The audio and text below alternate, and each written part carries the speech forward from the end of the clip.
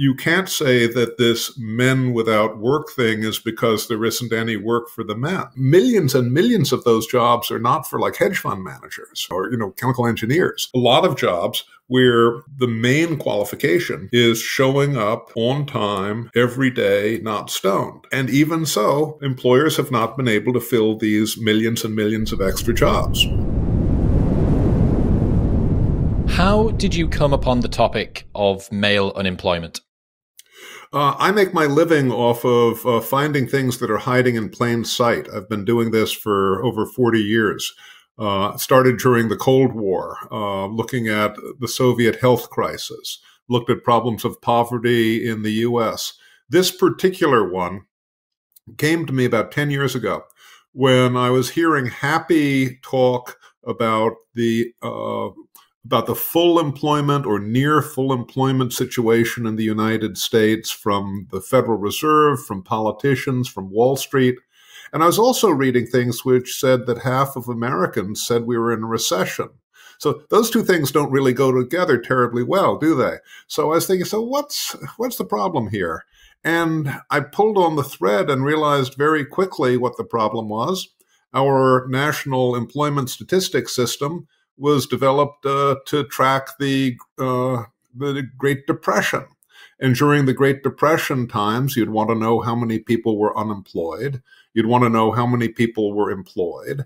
And if a guy uh, was neither working nor looking for work, you wouldn't even think this would be a great, uh, a great phenomenon. That it would be kind of like a, uh, you know, a little, a little bit of an end game. Today, it turns out that we've got for prime age men, for the 25 to 54s, we've got four times as many guys who are neither working nor looking for work as actually unemployed, as out of a job and looking for a job. So if you're only looking at the unemployment number, you're missing four fifths of the problem. That's how I stumbled across it. What does that turn into in terms of actual numbers? Well, uh, more than 7 million, I'll, I'll, get really nerdy on you. Um, more than 7 million men between the ages of 25 and 54, the prime ages for obvious reasons, um, who are in the civilian non institutional population. Civilian, because we're not counting military, non institution, because we're not counting prisoners or people who are in mental or health facilities, in other people who could reasonably be expected to be in the workforce looking for a job. What sort of men are in this group? Demographically, education, family structure, ethnicity. Who makes up this group? Well, as you would guess, Chris, uh, if there are seven million guys, there's some of everything, right? That's a big number. But some are more in- represented than others. So, um, ethnically, African Americans are overrepresented. But if we go into the persons of color formulation, uh, Latinos and Asian Americans are underrepresented. So, uh, so for white, non-white, it's almost a wash. Um, education's what you'd think. Uh, high school dropouts way overrepresented. Um, with just high school, quite overrepresented. But surprisingly large, um, we say, representation of uh, guys with college or even college degrees. 40% of this group has at least some college, and as I recall, about a fifth or a sixth are college grads. Uh, here's a funny one marital structure, family structure.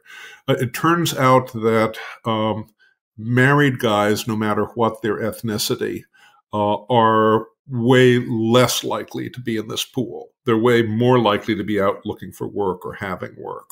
Uh, guys who've never been married, way more likely to be in this pool. And it's not just uh, the, the wedding ring, although that obviously is a big predictor. If you uh, if you're living under the same roof with kids and you're a guy, you're way more likely to be looking for work. I mean, that kind of, that's not surprising to me, but it's, you know, kind of like the provider effect or something. And last but not least, uh, the Census Bureau has something that they call nativity, which seems kind of weird to me. It sounds like a Christmas scene. Uh, it's what they mean is where you're born. Are you born overseas or native born? Uh, foreign born guys are way more likely to be not in this pool, um, no matter what their ethnic background, uh, more likely than their counterparts. And that's not a surprise to me, and I'm sure it's not a surprise to you in particular, because people who come here from overseas are kind of motivated to do something here, and they're they're more likely to be in the workforce. A lot of overlapping uh, different groups there. I remember hearing you say that a married African American man is less likely to be in this cohort than an unmarried white American man. Absolutely true. Absolutely true.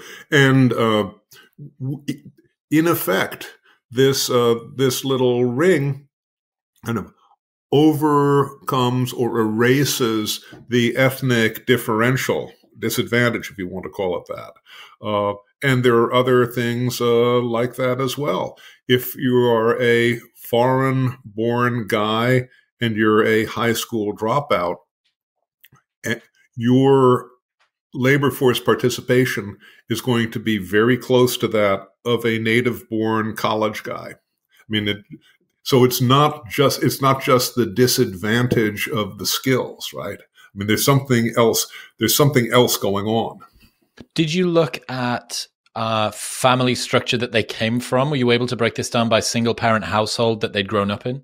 No, I wasn't. I mean, that's a really good question. It's a really good question, but uh, but I I didn't have the information that could uh, could allow me to give you a good answer on that. Okay, so we have uh, up front a rather dramatic seven million person cohort of men in the mm-hmm. US a large chunk of whom are not looking for work. What is the story of modern male unemployment? How do we get to the stage where this is a, a hidden catastrophe? Well, like like so many things in history, it happens gradually. It doesn't come upon us all at once like a meteor strike. Um, after the end of the Second World War, for about 20 years, the work rates and the labor force participation rates of this group of guys we're discussing, the 25, the 25 to 54s, it's pretty close to 100%. Not, not 100%, but pretty close. Um, and it wasn't going anywhere. It was bouncing around a little bit. Then starting in the mid 1960s, things started to change. And from, let's say, about 1965, it's, it's a good year to mark it by. May not be perfect, but it's pretty close. From 1965 to our conversation today, it's been basically a straight line out, out of the workforce of um, men, you know, a flight from work, leaving work, not in labor force, whatever you'd like to call it. And it's eerie if you track this on a graph or a piece of paper. Uh, I did a first edition of a book on men without work in 2016, and I used uh, I used this graph as the cover, which is, means almost a straight line. I mean, it, it's not quite uh, geo, you know, geoastronomy. It's not quite that perfect, but it's pretty close for uh, for the social sciences. And what was really shocking to me was when I came back to do a you know an update after uh, after the pandemic uh, last year, it's almost exactly the same line. I could have taken the cover of that book and just you know found a ruler and kept the thing going. Uh, you know, I have no explanation for that. I mean, this is that this is something that happens in the you know in the physical sciences. This is not something that happens in the social sciences. So, I mean, it will change eventually, but I was just stunned by that. I heard that since around about 1950, men have retreated from the labor force at around about 0.1% per month solidly. Is that about right? Um, I'd have to do the I'd have to do the numbers on paper, but it's been it has been absolutely relentless. And uh, you know, I would have started it in the mid '60s. For the 1950s, uh, for 1950s, it's more or less a kind of a slightly bouncing line with no trend that I could divine. Okay, uh, so but, well, economies, demographics, mm-hmm. you know, unemployment. We go through yep. peaks and troughs. We go sure. through cycles, boom and bust. Right. How have you managed to find, like, explain to me the underlying dynamic that has managed to create a, a ruler shape? Uh, yeah. All right. Um, well, we can start by the explanations that don't work, right? And um, because those are always so popular, and they're, I think they're called received wisdom, right? So the received wisdom in this area uh, is that this is a phenomenon driven by economic and structural technological change. That we've had this extraordinary revolution since the end of the Second World War, which is true. And we've had this tremendous uh, set of technological changes, and that's true. And we've had this big uh, shift in demand, less demand for less skilled labor, true.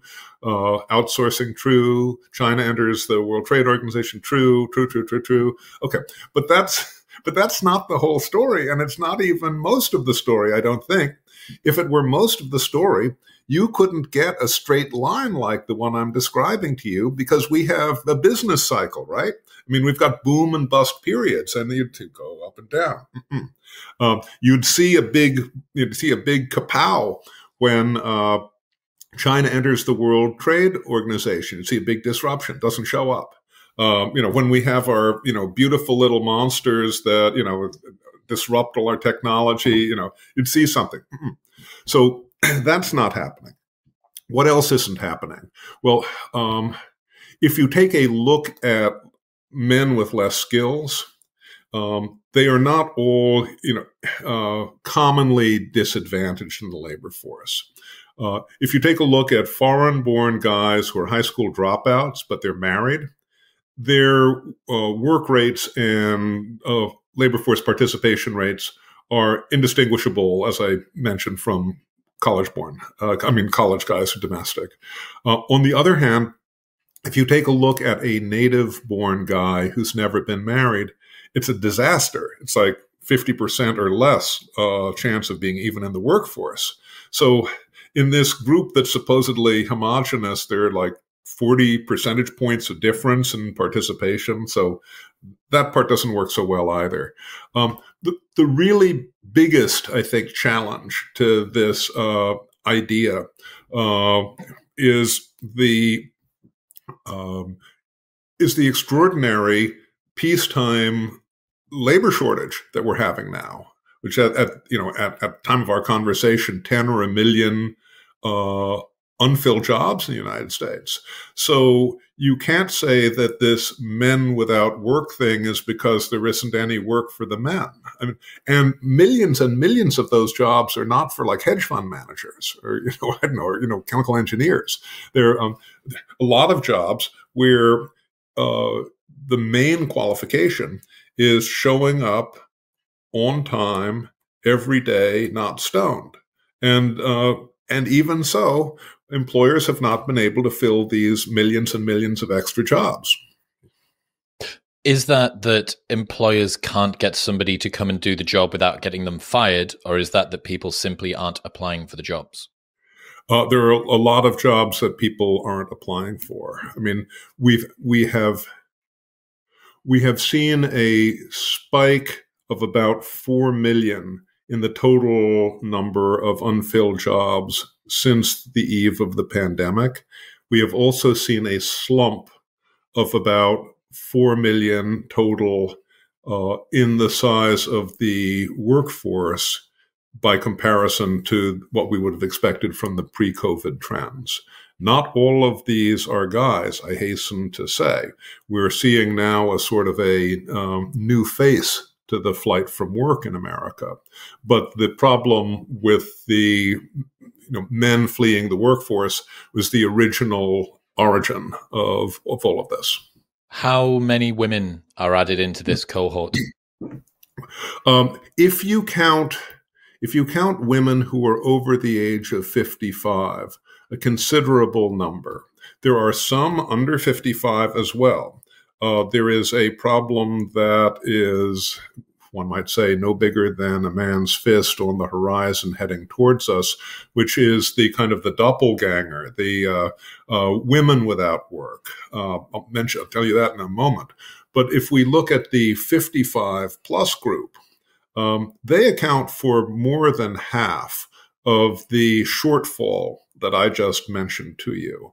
Uh, and this is a very new phenomenon because from the from the from the 50s until about the 90s, uh, American men and women were kind of starting to enjoy the notion of retiring early.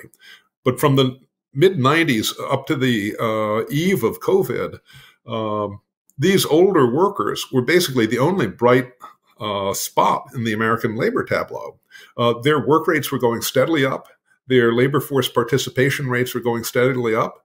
But since then, there's been a shock and a drop. And despite the rollout of COVID, of vaccines, and everything else, they haven't come back to the workforce.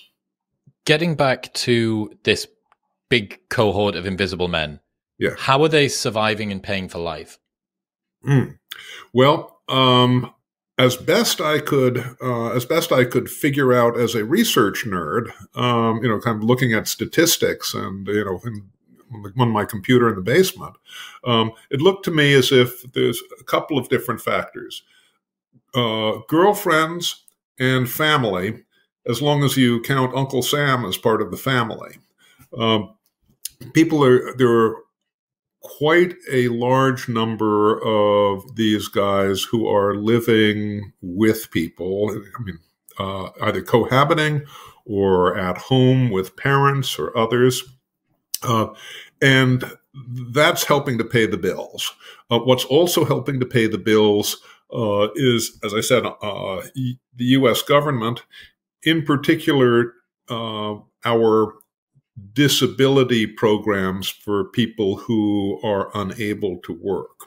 Those programs seem to have morphed away from their original humane intention and now seem to provide an alternative income source to regular employment for s- several millions for actually for millions and millions of these guys. How many? What's what's the proportion?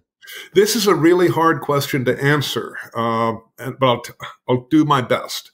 The, it should be an easy question. You should be able to go to an office in Washington and ask a bureaucrat how many checks are being cut for people who are on disability. I mean, taxpayers want to know, right? I mean, it sounds like a pretty easy thing. The reason it's not easy is because we have a crazy quilt of disability programs that don't play nice with each other. Uh, so the Social Security Administration has three different programs that kind of talk to each other. Then there's the Veterans Administration that has veterans benefits. Then there's uh, workman's comp programs all around the country. Then there are state level uh, disability programs. There are probably others that I don't even know about.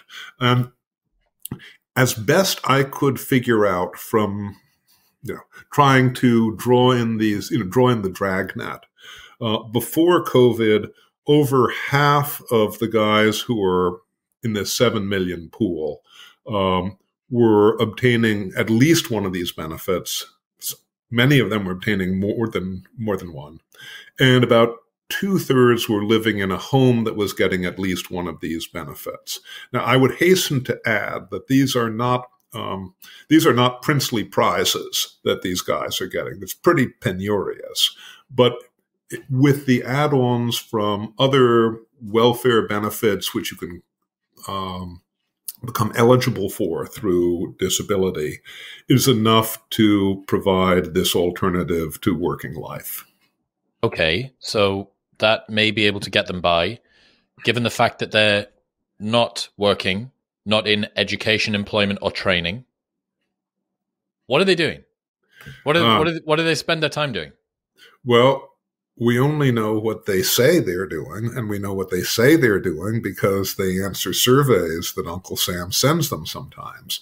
The uh, the Bureau of Labor Statistics uh, has this annual program it calls an American Time Use Survey, and it asks thousands and thousands of people, what do you do from the moment you get up in the morning till the time you go to sleep, and how long do you sleep? So they don't just ask people who are working; they people, they ask people who are adults of all ages. Um, so we've got a fair uh, you know, a fair number of returns from the neither working nor looking for work guys, right? Now, I hasten to say everybody is a liar and surveys are full of lies, but we can take this, you know, self-reported um, information as a first cut. They they say they basically don't do um, civil society. Uh, almost no worship, almost no uh, charitable work, almost no volunteering. Uh, they got a lot of time on their hands. We know that but they do surprisingly little housework. They say they do surprising little housework and surprising little help with other people in the home. What they say they do a lot of is watch screens. Now, these surveys don't tell you what they're watching or how they're watching it, just, you know, that their screen time.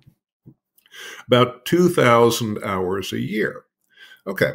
Now, 2,000 hours a year would qualify as a fair full time job. I mean, maybe not if you're in a law firm, but pretty much anywhere else, it would qualify as a pretty, uh, pretty good full time job. And um, the skill which they're developing is being in front of a screen on a couch.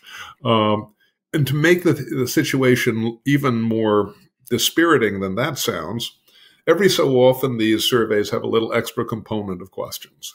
And before the um, before the pandemic, one of these components was do you take pain medication? And about half of these guys said yes, I take pain medication every day. Now, it doesn't say what the medication is, doesn't say if it's actually a prescription, uh, but that's a lot of people sitting on their couches in front of screens stoned.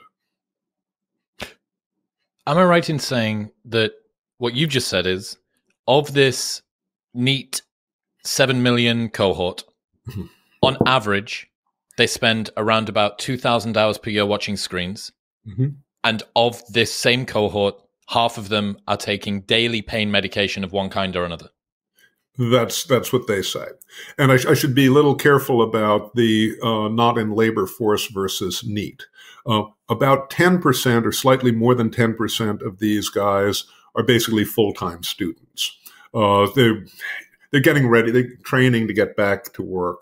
Their time use looks like an employed guy's time use. So we're talking about six plus million who are in the NEET pool. I was going to say it's a, a it's a, a, silver lining around a cloud to say, well, there is ten percent. The ten percent. It's not all seven million, but it's you. a big number. It's, it's a big, almost number. all of them. Okay. Yeah what about the way that being uh, having a criminal record gets folded into this? well, Chris, once again, uh, there is no office you can go to in Washington, and Washington has a great many offices that can tell you how many uh, how many adult felons there are in the U.S. or how many prime age guys have a criminal record. Um, and I tried, I tried to get at that, and uh, the best I could do was to use some, uh, I think, pretty good work by some, uh, you know, defiant demographic nerds who tried to reconstruct the whole post-war period of crime and punishment, how many people had survived over the long period, how many had gone back to jail. Um, they estimated that as of 2010, there were 19.5 million adults, overwhelmingly men, in the United States who um, had a criminal record. And with a reasonable back of the envelope estimates, that would take us to about 25 million today. We know that the US has got this famous mass incarceration thing going on, but the prisons have got about 2 million uh, people in them. You know, that means that for every person who's behind bars, there are 10 million or more, uh, or 10 or more, who um, are in society as a whole, in general, and not uh, not behind bars, have a have a criminal record.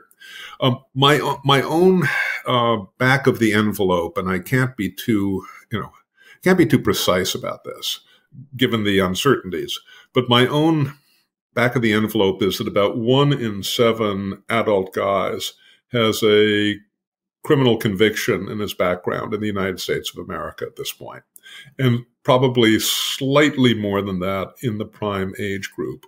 So we're talking about a lot of uh, a lot of guys with uh, convictions in their background who are kind of invisible to our statistics, but from what little evidence of our senses, uh, you know, we can draw upon, they're way more likely, uh, you know, not to be at work, to be in this kind of pool. Have you got any idea whether that's because they're struggling to be accepted for jobs because they have to list the fact that they do have a, a felony record?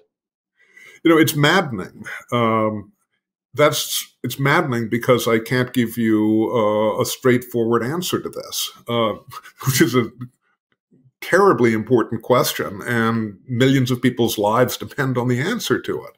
Um, we we don't have the evidence in a sort of a statistical way. You know, we've got this world of anecdotes, and there are you know thousands and thousands of points of light out there that are trying to deal with this, but they're all disconnected. Um, if we had, if we lifted a finger and got this information together, which we could do pretty quickly. Um, wouldn't be perfect, but it would shine a big, uh, big light on part of this. We'd have the evidence for evidence based programs all around the country. Um, and we don't have that. There, it's clear that there are some areas where there are restrictions uh, against uh, employment of ex-cons, including the financial sector and other places.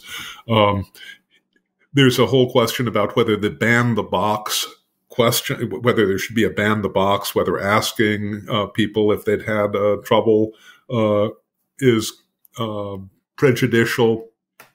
My own contrarian impression is that employers actually end up discriminating more if they don't know the answer to that question. They kind of overestimate on their own part, and they're more likely to um, they're more likely to be suspicious of low, less educated minority uh, young men than if they had the actual information. But that's my impression. So your concern is that among many, many concerns is that because we have very, very inferior data to what we should do in order to be able to dig down into this, any interventions that you do want to do to try and fix the problem can be pointing in the wrong direction. They can miss the mark entirely because we don't know. Let's just use the ex con felony uh, example cohort. You don't know if it's an in- intervention that needs to be done on the side of the employer to encourage employers to bring on people who do have criminal records. You don't know if the intervention needs to be to get these people from prison back into looking for jobs, get them into training, get them into the routine. Maybe it's support groups, maybe it's something to do with psychological health you don't know where this issue is coming from because you have insufficient inferior data? Well, there there will be people who are working in you know God's own trenches, you know, with reentry for ex-cons who will have a wealth of knowledge on this and who can uh, tell everybody more about this. But in terms of numbers and patterns, we're blind on this. As a general observation, we always have to be careful about unintended consequences because there's always a policy and there's always an unintended consequence of the policy. And if you don't ask about both of those, you're not looking at the whole situation. How haven't we heard more about this?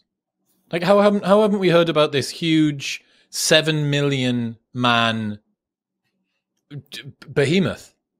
Well, I have some guesses. Uh, I mean, one guess is that this is a disadvantaged group that doesn't fall within the academy and the media's preconceptions of disadvantage.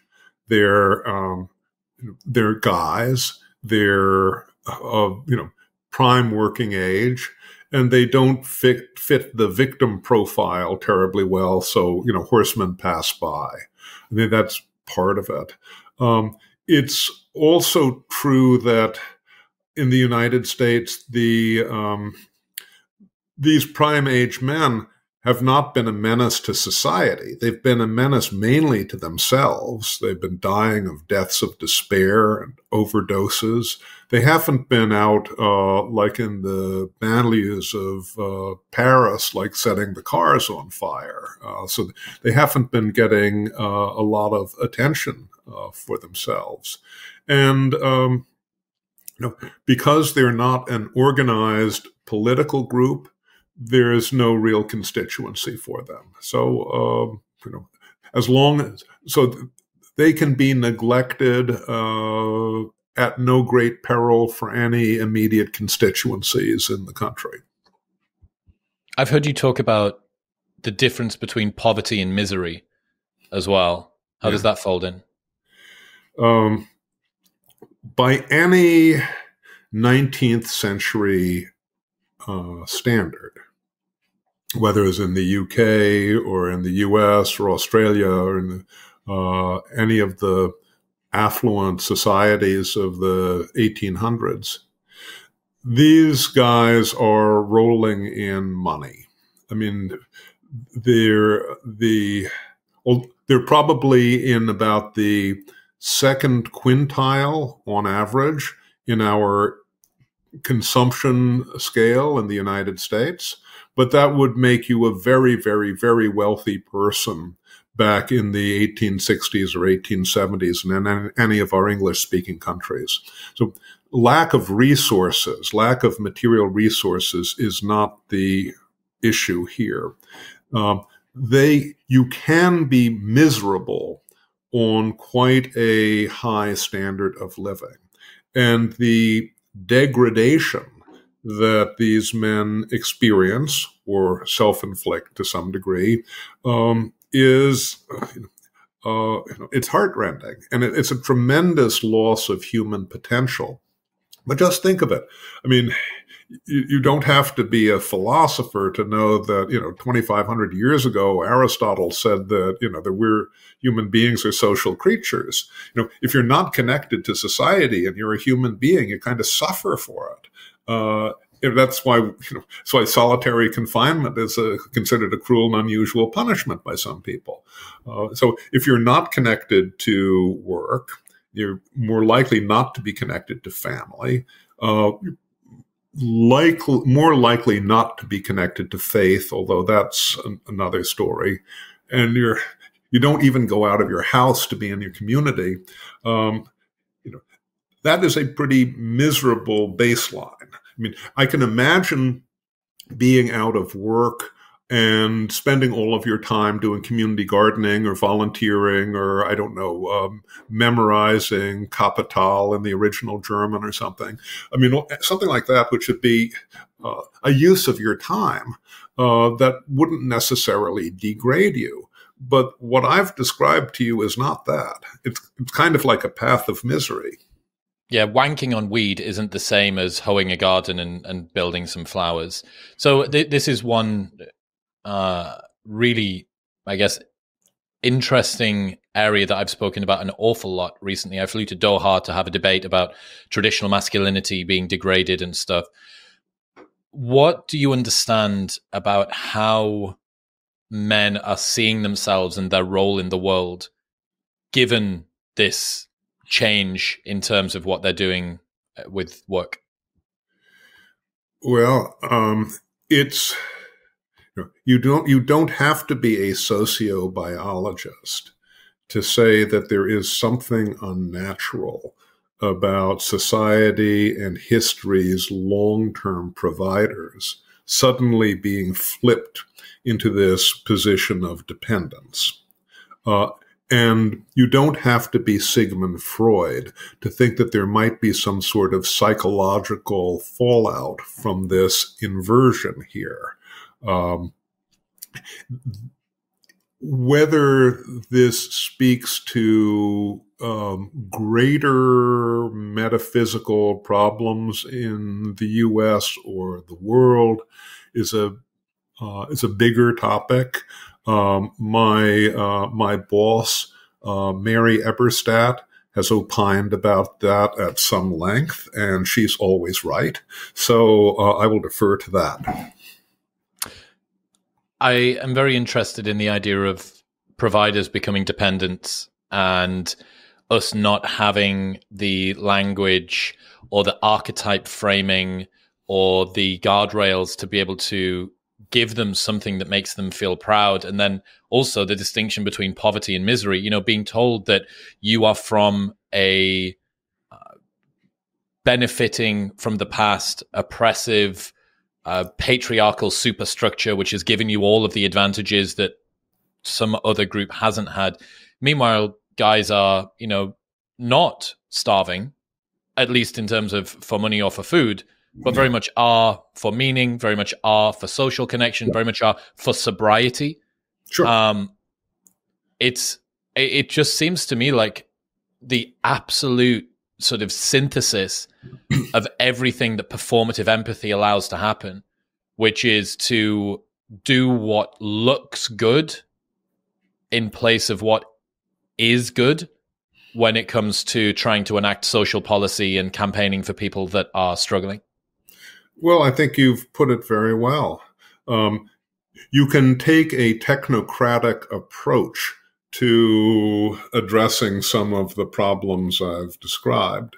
Um, the nice thing about a technocratic approach is that you can pretend that it is value neutral. But what we're describing here is completely laden with values. And uh, the normative questions of how you find meaning in life and what one does with life and what your purpose is and what, you know, what fills the soul, you know, what fills the hole in your soul is absolutely critical here. And, you know, if we kind of um, pretend, pretend none of this really matters, well, you can kind of guess what's going to happen. This, to me, seems to point a rather worrying picture at the potential for UBI. Not that I was a, a, massive proponent of it in any case, but you mentioned that the pandemic basically caused Washington to stumble into a dress rehearsal for UBI. Um, we're seeing these guys who have sufficient material wealth to be able to keep them going, but they don't seem to be flourishing there's a whole argument about whether uh, UBI would bankrupt uh, our public finance system. Uh, that's a separate argument. Um, it's a very important argument, and it might put an end to this discussion right there. I would say, however, um, take a look at the time use of these NEET men, and then ask yourself do you want to buy more of this? Is this something that society should really want to subsidize? Because you're going to get it. You're going to get a lot of people with UBI who have a lot of time on their hands. Uh, what are they going to do with it if they don't have the, you know, gyroscope for it? Uh, and absolutely, during uh, uh, during the early months of the pandemic, actually for almost a year and a half in the pandemic, we were dispensing more benefits in pandemic uninsurance uh, than uh, unemployment insurance than we had unemployed people in the United States. At one point, for every 100 people who were unemployed, we had about 250 beneficiaries of pandemic unemployment insurance. So it, it was indeed a, a, kind of a test drive. Fortunately, it's over. Uh, what's unfortunate is we don't know how long the lingering effects of it uh, will reverberate or how badly they will reverberate. Would you guess, would you hypothesize that there is going to be a hangover of some kind, that the uh, trend and the, the routine that people got into of not working during the pandemic is going to set a habit going forward? I think we're living in it right now. Look around. Um, uh, 10, 11 million open jobs. uh, great resignation giving more bargaining power to people who are job applicants than any time in my long life. Uh, millions of people still sitting on the sidelines, more than before the pandemic. That, that sounds to me like uh, like immediate consequences. And what we can see from the labor market is if you stay with the labor market, uh, if you're if you declare yourself unemployed, your chances of getting back to work within a matter of weeks are very high. Once you cut that line, it's a little bit like you know going off under the space shuttle, and then you're you're kind of out in space, and your odds of uh, doing something other than being a long termer uh, get really bad. I thought that unemployment rates weren't that bad at the moment overall. What sort of fuckery is going on with the numbers to be able to allow your world and the world of low unemployment to exist? Together? Well, we've we've ended up with the best of all possible worlds, haven't we, Chris? We've got the we've got low unemployment and also low work. And so, how do you add it? Low work, low uh, unemployment, and what's the rest of it? Oh, it's the people who aren't looking for work. I remember now. So we've got this. Uh, we've got this circumstance, which, of course, only a fabulously affluent society could afford without immediately careening into disaster. You know, we can eventually careen into disaster with this, I guess, but we can postpone it for quite a while. Um, and this is this is what happens when you're fighting the last war our uh, employment statistics are still fighting the Great Depression. So they get great numbers on, or good, as good numbers as they can get on unemployment, good numbers on work, and then whatever the other thing is, uh, well, that wasn't happening much during the Depression. So here we are. Uh, because anybody that could work would work back then. That was the presumption. And, and I think it was probably a pretty good presumption. That's very interesting. So I'm I'm currently kind of obsessed with the role of men in the modern world, their retreat from uh, relationships, their retreat from friendships overall. Have you considered if there is a broader dynamic going on here that ties together the general sort of malaise that men are finding themselves in? Um, well, I'm not a philosopher, but I do demographics and I can count. And uh, I mean, I'm a uh, I'm a I'm a 67 year old grandfather with four kids, right? And so I am so far from the the forefront of the battlefield right now that I can kind of read it the way I read science fiction and try to kind of understand it. Uh, but the the idea that uh, the idea let's see how do i put this for a family audience? The idea that young men would not be interested in real live women uh, would have been kind of uh, absurd uh, 50 years ago. Did you see so my favorite or most terrifying piece of research that i've seen recently was from pew uh, in 19 in uh, 2019 61% of men said that they were looking for either casual or long term relationships.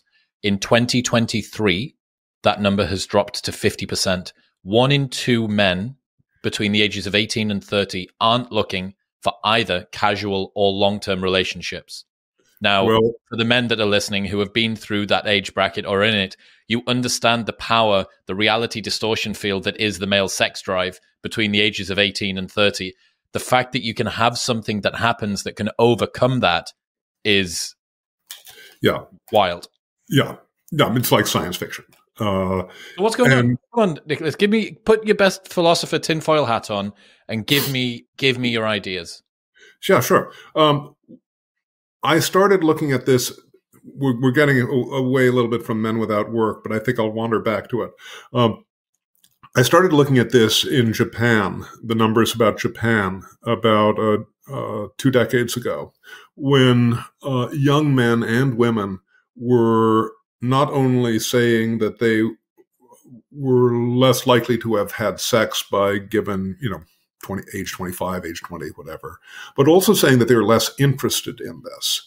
And at the time, I thought, well, everybody knows that the Japanese are just separate from the rest of humanity. They see us as all gaijin. They see us as all unspeakably weird. This is just some Japanese thing. Little did I know that this was the leading indicator for where everything else was going to be going.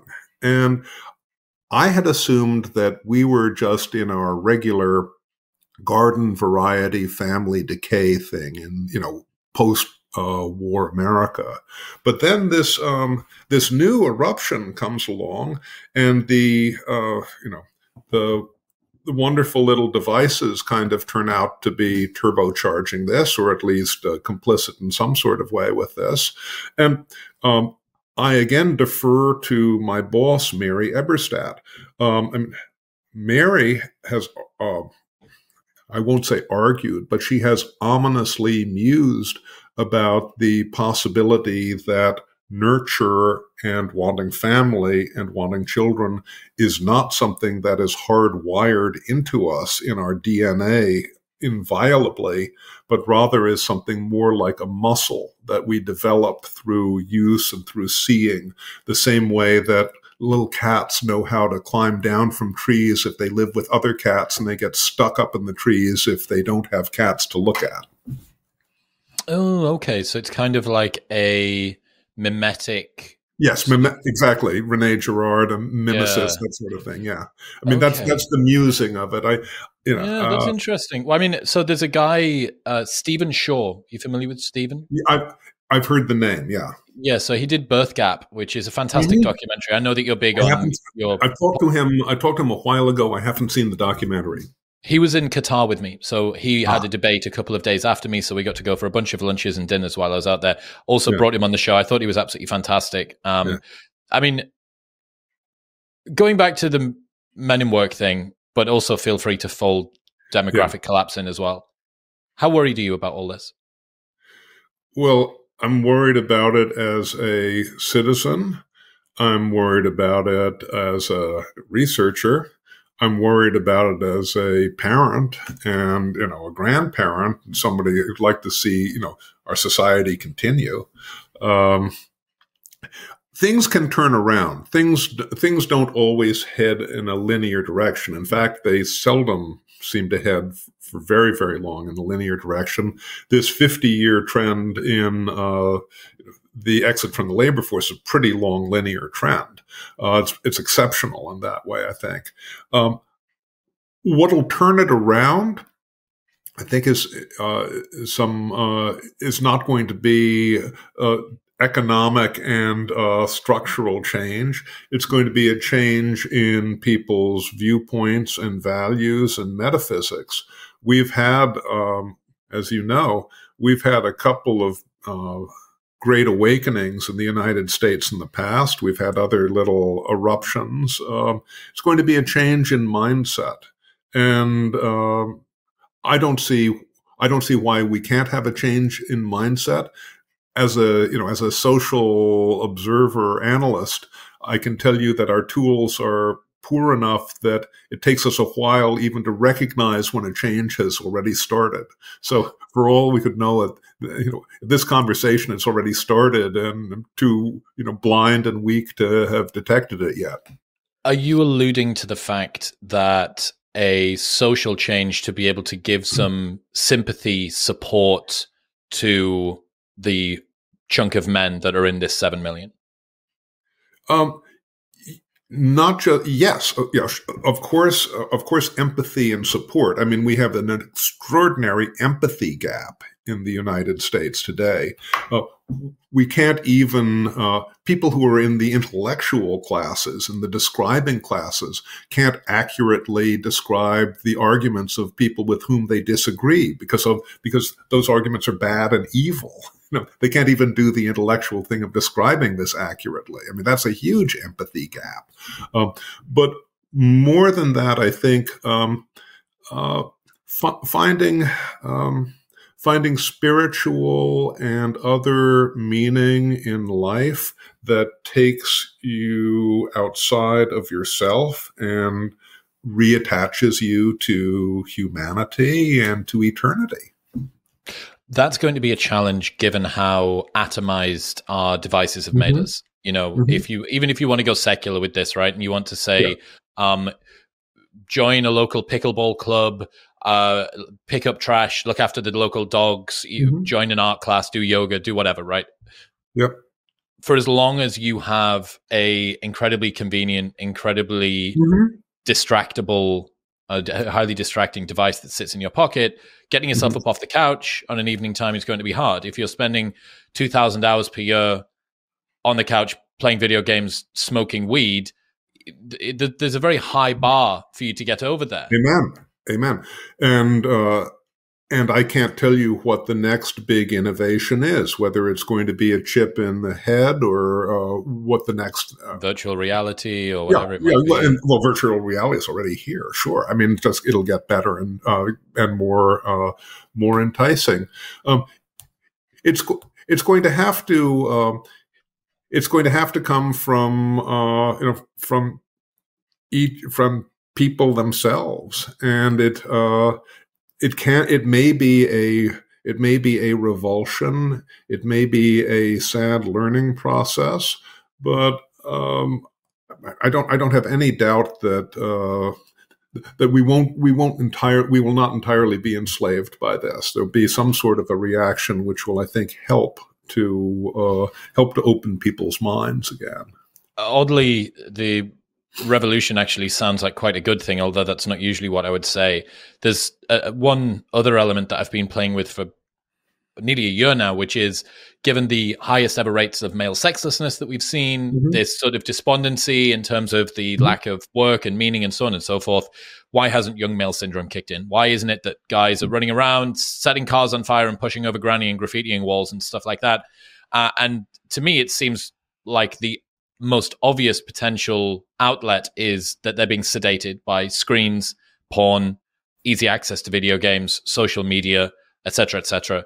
Um, that seems to be the most obvious one. And the problem that you have, it's like a, a perfect um, marriage of what you've taught me today and what I already kind of knew, which is if you are part of a previously identified uh, beneficiary of a system the ability for the people now in charge of that system to give you sympathy and to try and raise you up is going to be so low. No one is going to come and say, why don't we spend more time raising up men, especially, you know, predominantly white, predominantly American men? Who's going to come along and do that? There's no card carrying campaign. And it's the exact same people. You said it earlier on they they haven't galvanized themselves into one group that goes down the street with placards waving things and creating social media campaigns. I think it's going to be a spontaneous movement. Um, i think it's highly unlikely that something will be organized and developed much less centrally uh, centrally distributed from washington. Um, on, but the proposition that something will generate spontaneously and spread like a prairie fire would not surprise me. So when people see something good, they want more of it. Just one final thing. What's the economic cost of this? What's the economic cost of, of this group of people being outside of the workforce? Uh, well, it, it means uh, it means slower uh, slower economic growth for the country as a whole, and but not just that. It means bigger income and wealth gaps. It means more welfare dependence. It probably means more public debt. It means you have to start doing the second order impact on fragile families and the third order impact on what this means for trust in social institutions. I haven't tried to do a, you know a whole of parts calculation on this, but it's it's a big economic cost and it's an enormous moral cost to our society. Nicholas Eberstadt, ladies and gentlemen. Nicholas, I really, really enjoy this. I think that this insight is one that much, much, much more people should be talking about. Uh, where can people go if they want to keep up to date with the work that you do? Um, you can probably, for uh, for the foreseeable future, use Saint Google to look for Nicholas Eberstadt. Uh, I've got this book, uh, Men Without Work. You can probably find that uh, somewhere. Uh, I have a uh, I have a scholars web page at the American Enterprise Institute, aei.org. Nicholas Eberstadt. Nicholas, I appreciate you. Thank you for today. Hey, thank you for making the time for me. What's happening, people? Thank you very much for tuning in. If you enjoyed that episode, then press here for a selection of the best clips from the podcast over the last few weeks. And don't forget to subscribe. Peace.